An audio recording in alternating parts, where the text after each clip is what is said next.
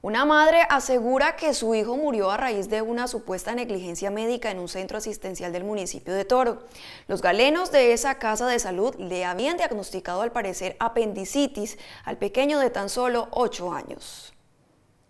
Los hechos, según familiares del menor de 8 años, se produjo en las instalaciones del Hospital La Sagrada Familia del municipio de Toro. Y de acuerdo con la versión de la progenitora, su hijo Emanuel murió a raíz de una presunta negligencia médica en ese centro asistencial. Voy a hacer una denuncia pública por los hechos que ocurrieron ayer en el Hospital Sagrada Familia de Toro Valle con mi hijo Emanuel, que ingresó a las 4 de la mañana al hospital con mucho dolor, diarrea y vómito. Que el doctor lo atendió, le aplicaron dos inyecciones, lo mandó para la casa a las 5, que fue el niño empeorando, e ingresó a las 5 de la tarde con mucho vómito, diarrea y mucho dolor abdominal y fue, lo están reanimando y a las seis fue fallecido por falta de mm, atención médica porque al niño no me lo hospitalizaron, no me le aplicaron medicamentos, fue deshidratado, así me lo mandaron para la casa.